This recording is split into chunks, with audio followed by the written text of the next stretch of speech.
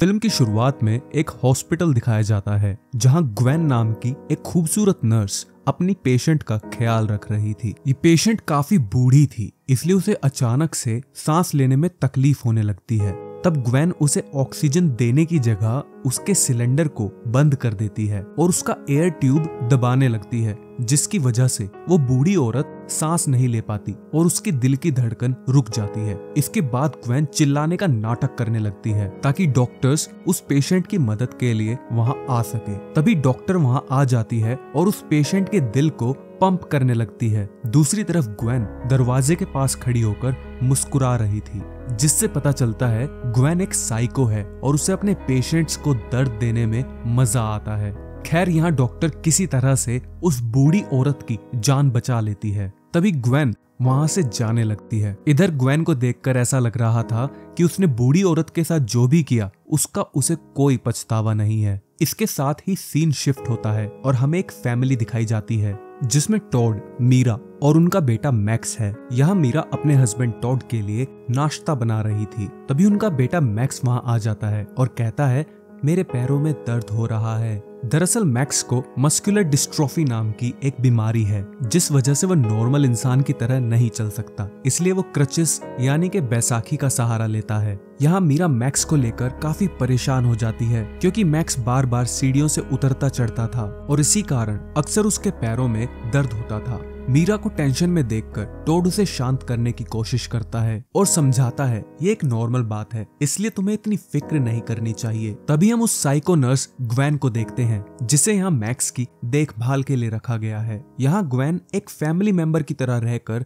Max का ख्याल रखती है। इसके बाद वो चारों लोग एक साथ बैठकर नाश्ता करते हैं। जिस दौरान मैक्स गलती से अपने क्रचेस को गिरा देता है। तभी ग्वेन क्रचेस उठाने में मैक्स की मदद करती है, पर जानबूझकर वो क्रचिस के निचले हिस्से को ढीला कर देती है, ताकि मैक्स बाद में उस क्रचिस की वजह से गिर जाए। ग्वेन ये सब सिर्फ़ अपने मज़े के लिए करती थी, जैसा कि हमने कहानी की शुरुआत में देखा था। खैर, कुछ समय बाद टॉड काम पर जाने के लिए तैयार होने लगता है, जिस दौरान मीरा टॉड के सूट को साफ़ करने लगती है। टॉड और मीरा को इतना करीब देखकर ग्वेन जेलस फील करने लगती है, क्योंकि ग्वेन को टॉड पसंद आने लगा था। टॉड के ऑफ़िस जाने के बाद मीरा की एक फ्रेंड केरन वहाँ पर आ जाती है। मीरा और केरन जब बातें कर रही थी, ग्वेन मैक्स के साथ खेलने के बहाने उनकी बातें सुनने लगती है। केरन यहाँ पर कहती है कि मुझे लगता है मैक्स और टॉड दोनों ग्वेन को कुछ ज़्यादा ही पसंद करने लगे हैं।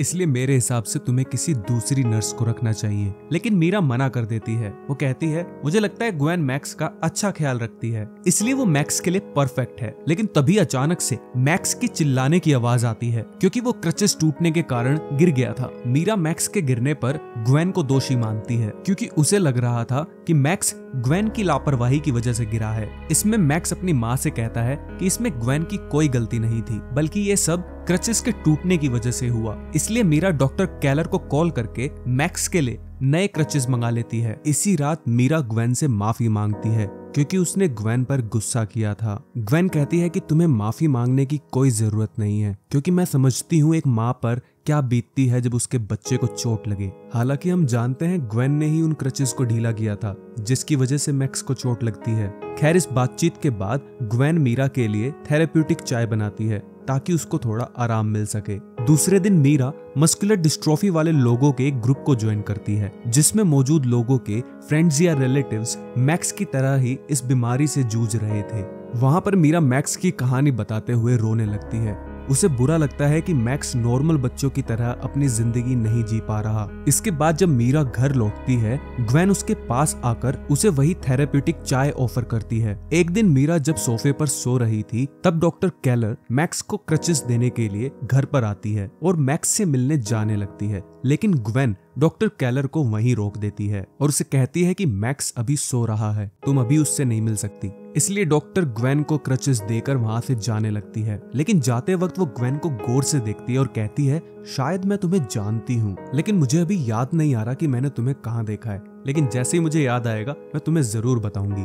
इतना कहकर वो वहाँ से चली जाती है। इसी शाम ग्वेन डॉक्टर कैलर के घर जाती है और उन्हें बताती है कि मैं अभी भी तुम्हें याद करती हूँ। इतना कहकर ग्वेन घर के अंदर आ जाती है और डॉक्टर कैलर को किसी चीज़ का इंजेक्शन लगा देती है, जिसके बाद वो बताती है, हम एक ही हॉस्पिटल में काम किया करते थे। दरअसल कहानी की शुरुआत में ग्वेन ने जिस पेशेंट को मारने की कोशिश की थी, उसे डॉक्टर कैलर ने ही बचाया था। खैर ग्वेन यहाँ पर बता देती है कि उसी ने उस पेशेंट को मारने की कोशिश की थी। ग्वेन की बातों से पता चलता है कि उसे फैमिलीज़ से प्रॉब्लम होती है और वो फैमिलीज़ को टारगेट करके उन्हें मार देती है। इस बार वो टॉड की फैमिली को मारने वाली थी, लेकिन उसे डॉक्टर कैलर का डर था कि कहीं वो ग्वेन की सच्चाई उन लोगों को ना बता दे। इसलिए वो डॉक्टर कैलर को जहर का इंजेक्शन लगाकर मार देती है। इसी रात मीरा के पास डेविड नाम के एक आदमी का कॉल आता है। वो मीरा को बताता है, मैं उसी कम्युनिटी का मेंबर हूँ, जिसे हाल ही में तुमने ज्वाइन किया है। साथ ही वो बताता है कि मेरे बेटे को भी मस्कुलर डिस्ट्रोफी नाम की बीमारी है। ये सुन के मीरा इमोशनल हो जाती है और उसका डेविड को देखने का मन करता है। लेकिन डेविड ने अपनी प्रोफ़ाइल पर ब्लड पिक लगाई थी, जिस वजह से वो उसे सही से नहीं देख पाती। यहाँ डेविड बताता है कि मेरी वाइफ की डेथ हो चुकी है, इसलिए मैंने अपने बेटे की देखभाल के लिए एक नर्स को रखा है, जिस पर मीरा कहती है कि तुमने नर्स को घर पर रख के सही किया है। तभी हम देखते हैं कि डेविड और कोई नहीं, बल्कि ग्वेन है, जो कंप्यूटर की मदद से अपनी आवाज़ बदल कर बात कर रही थी। अगली सुबह कैरन मीरा के घर पर आती है, जहाँ वो गलती से टॉड की शर्ट पर ड्रिंक गिरा देती है। इसलिए ग्वेन टॉड की शर्ट को साफ़ करने के लिए लॉन्ड्री रूम में लेकर जाती है। यहाँ मीरा कैरन को अंदर वाले रूम से अपना बैग लाने को कहती है। इसलिए कैरन उस रूम की ओर जाने लगती है, जिस दौरान वो ग्वेन को देखती है, जो टोड की शर्ट को सूंघ रही थी। ये देखकर कैरन को समझ आ जाता है कि ग्वेन टोड को पसंद करती है। मगर कैरन मीरा को ये बात नहीं बताती, क्योंकि उसे डर था कि कहीं उसके बताने से मीरा की फैमिली ना टूट जाए। इसके बाद रात को हम ग्वेन को देखते हैं जो डेविड बन के फिर से मीरा से बात कर रही थी और उसे मैक्स की कंडीशन के बारे में पूछती है, जिस पर मीरा कहती है, जिस दिन मैक्स गिरा था, उस दिन मुझे बिल्कुल अच्छा नहीं लग रहा था। जिसके बाद ग्वेन मीरा को अपनी नर्स को चेक करने के लिए कहती है। इसके बाद ग्वेन फ़ोन को काट देती है और तुरंत मीरा के रूम में पहुँच जाती है, ताकि वो मीरा को डेविड से फ़ोन पर बात करते हुए पकड़ सके। ग्वेन का ये प्लान सक्सेसफुल हो जाता है और वो मीरा पर टोड को धोखा देने का आरोप लगाती है। साथ ही वो टोड को भी बताती है कि मीरा अभी अभी किसी आदमी से फ़ोन पर बात कर रही थी। असल में ग्वेन का प्लान था कि टॉड मीरा पर डाउट करके उससे अलग हो जाए। लेकिन टॉड अपनी बीवी पर बिल्कुल भी डाउट नहीं करता। उल्टा ग्वेन को कहता है कि मीरा आजकल बहुत ज़्यादा काम कर रही है। जिस वजह से रात में उसकी नींद भी पूरी नहीं हो पाती। तभी अचानक ग्वेन टोड को गले लगा लेती है और उसे गुड नाइट विश करती है। असल में ग्वेन किसी भी तरह टोड को पाना चाहती थी। इसलिए वो टोड के करीब आने की कोशिश करती है। अगली सुबह हम ग्वेन और टोड को किचन में देखते हैं। जबकि मीरा अभी भी सो रही थी और ग्वेन को देखकर ऐसा लग रहा था कि वो टोड के साथ समय बिताने के लिए नए नए तरीके ढूंढती रहती है। यहाँ ग्वेन टोड को छू कर उसे रिझाने की कोशिश करती है, लेकिन तभी मीरा वहाँ आ जाती है और देखती है ग्वेन ने घर का सारा काम खत्म कर दिया है। तभी टोड को मीरा की चिंता होने लगती है, क्योंकि वो अक्सर मीरा को सोफे पर सोते हुए देखता था। इसी बीच मीरा को कैरन का फ़ोन आता है, जो की मीरा को थैंक्स कहने के लिए फ़ोन कर रही थी, क्योंकि मीरा ने कैरन के जन्मदिन पर उसे फूल भेजे थे। ये सुनकर मीरा कंफ्यूज हो जाती है, क्योंकि उसने कैरन को कोई फूल नहीं भेजे थे। यहाँ कैरन मीरा को लेकर टेंशन में आ जाती है और उसे डॉक्टर के पास जाने को कहती है। इसके बाद मीरा को पता चलता है कि कैरन को वो फूल ग्वेन ने भेजे थे। ग्वेन मीरा को कहती है कि तुम कैरन का जन्मदिन भूल गई थी, इसलिए मैंने उसे फूल भेजकर विश कर दिया। वो दोनों बात ही कर रही थी कि तभी अचानक मीरा को चक्कर आने लगते हैं। ग्वेन मीरा को संभाल कर सोफे पर बिठा देती है। मीरा कहती है कि मुझे डॉक्टर को दिखाना चाहिए। साथ ही वो ग्वेन को, टोड को इसके बारे में ना बताने के लिए कहती है। तभी ग्वेन कहती है, तुम्हें हॉस्पिटल जाने की कोई ज़रूरत नहीं है। मैं तुम्हारा ब्लड सैंपल लेकर उसे लैब में टेस्ट कराने के लिए भेज दूँगी। इसी रात मीरा डेविड से बात करती है और उसे घर की सारी प्रॉब्लम बताती है। उसी दौरान टोड और मैक्स वहाँ पर आ जाते हैं, जिन्हें देखकर मीरा कॉल डिस्कनेक्ट कर देती है। यहाँ मीरा मैक्स को उसके कमरे में ले जाना चाहती थी, लेकिन मीरा को अचानक से धुंधला धुंधला दिखाई देने लगता है। इसलिए वो मैक्स को कहती है कि तुम चलो मैं आती हूँ, लेकिन उसे इतनी तेज नींद आती है कि वो वहीं सोफे पर सो जाती है। कुछ देर बाद वेबर नाम के एक आदमी का मैसेज आता है, जो कहता है, डेविड एक फ्रॉड है। अगले दिन टोड मीरा को जगाने की कोशिश करता है। तभी वो मीरा के फ़ोन में वेबर का मैसेज देखता है। टोड को कुछ समझ नहीं आ रहा था कि वेबर और डेविड है कौन और मीरा इनसे क्यों बात करती है? वहीं मैक्स भी परेशान था कि उसकी माँ आजकल इतना ज़्यादा क्यों सोती है? यहाँ ग्वैन 24 घंटे घर पर काम करती थी, फिर भी मीरा उसके बारे में गलत सोच रही थी, इसलिए मीरा उससे माफ़ी मांगती है, जिस पर ग्वैन खुश होती है, क्योंकि उसे लगने लगा था कि अब सभी उसे फैमिली का हिस्सा मानने लगे हैं। इसी बीच मीरा को डेविड के बारे में एक और मैसेज आता है, जिसे ग्वैन भी देख लेती है। लेकिन मीरा मैसेज का रिप्लाई करती है कि मुझे मैसेजेस करके परेशान मत करो। इसके बाद मीरा काम पर जाने के लिए खुद को किसी तरह से तैयार करती है। ऑफ़िस पहुँचते ही वो अपनी दोस्त कैरन से मिलती है और उसे कहती है कि मेरी ब्लड रिपोर्ट बिल्कुल ठीक है। साथ ही कहती है कि ग्वैन ने सही कहा था। मुझे बस थोड़े आराम की ज़रूरत है। कैरन कहती है कि तुम्हें किसी ऐसे डॉक्टर को दिखाना चाहिए जिसका ग्वैन से कोई लेना देना ना हो। लेकिन मीरा कैरन की बात पर ध्यान नहीं देती है। और तभी ग्वैन डेविड बनकर मीरा को मेल करती है। और मेल में लिखा था कि वेबर उसे बदनाम करने की कोशिश कर रहा है। इसी बीच वेबर का भी उसके पास मेल आता है कि तुम्हारा बच्चा खतरे में है, इसलिए मैं तुम्हें मिलना चाहता हूँ। घर पहुंचकर मीरा ग्वेन को वेबर के बारे में बताते हुए कहती है कि कि मैं वेबर से कैफ़े में मिलने वाली हूँ। तभी टॉड वहाँ आ जाता है और मीरा की बातें सुन लेता है, जिससे टॉड बहुत दुखी हो जाता है, क्योंकि अब उसे लग रहा था कि मीरा सच में उसे धोखा दे रही है। जिसके बाद हम मीरा को एक कैफ़े में जाते हुए देखते हैं, जहाँ उसकी मुलाकात वेबर से होती है और वहाँ उसे पता चलता है कि वेबर ही असलियत में डेविड है और वो उसे कहता है कि मेरा कोई भी बच्चा नहीं है और मैंने तुमसे कभी भी बात नहीं की, बल्कि कोई मेरे नाम का यूज़ करके तुमसे बात कर रहा था। इसके बाद डेविड बताता है कि मेरी वाइफ कैरल को कैंसर था, इसलिए वो कीमोथेरेपी लिया करती थी। फिर एक दिन लोरल के पास किसी आदमी का मेल आया।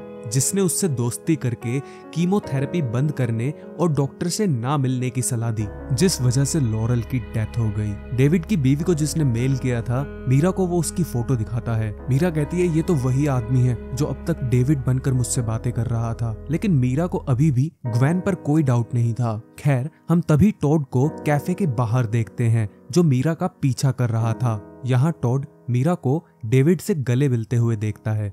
जिससे उसे यकीन हो जाता है कि मीरा सच में उसे चीट कर रही है। दूसरी तरफ़ हम कैरन को देखते हैं, जो मीरा को एक बैग देने के लिए उसके घर पर आती है। बैग देने के अलावा उसका एक और मोटिव था, वो ग्वेन से अकेले में बात करना चाहती थी। यहाँ कैरन ग्वेन को कहती है, मैंने तुम्हें टोड की शर्ट को सूंघते हुए देखा था, और मैं जानती हूँ तुम टोड को पसंद करती हो। साथ ही कैरन उसे धमकी देती है कि अगर तुमने मीरा के परिवार के साथ कुछ भी गलत किया तो मुझसे बुरा कोई नहीं होगा। इतना कह के कैरन वहाँ से जाने लगती है। तभी ग्वेन उसकी पीठ पर कुछ मार कर उसे बेहोश कर देती है, जिसके बाद वो कैरन को एक सुनसान जगह पर ले जाती है और उसे मारने के लिए उसकी बॉडी में ड्रग इंजेक्ट कर देती है, जिसके बाद वो उसे वहीं पर छोड़कर चली जाती है। यहाँ मीरा को देखते हैं जो डिनर बना रही थी। तभी ग्वेन मैक्स की फ़िज़िकल थेरेपी कराकर घर वापस आती है और चुपके से ग्वेन मीरा का चाकू चुरा लेती है और इसके बाद अपने पुराने दोस्तों से मिलने का बहाना बना के वो डेविड के घर चली जाती है। यहाँ हमें पता चलता है कि ग्वेन डेविड की वाइफ की नर्स रह चुकी थी और उसी ने डेविड की वाइफ से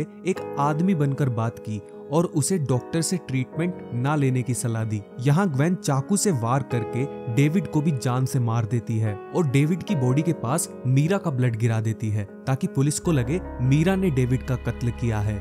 इसके बाद ग्वेन डेविड का बैग लेकर वहाँ से निकल जाती है। इसी रात टोड को देखते हैं, जो नशे की हालत में घर आता है। असल में मीरा की वजह से वो काफ़ी परेशान था, जिस वजह से उसने इतनी ड्रिंक कर ली थी। इस मौके का फ़ायदा उठाते हुए ग्वेन टोड के करीब आने लगती है और उसे रूम में ले जाकर उसके साथ इंटीमेट होने की कोशिश करती है। लेकिन टॉड अभी भी अपनी वाइफ के लिए लॉयल था, इसलिए वो उसे वहाँ से जाने के लिए कहता है। अगली सुबह जब मीरा की आँख खुलती है, वो डेविड के मैसेज को देखती है, जिसमें लिखा था कि मैं अपने लिटिल बॉय की वजह से पूरी रात सो नहीं सका। असल में ये मैसेज ग्वेन ने ही सेंड किया था, ताकि पुलिस को लगे डेविड का कत्ल मीरा ने किया है।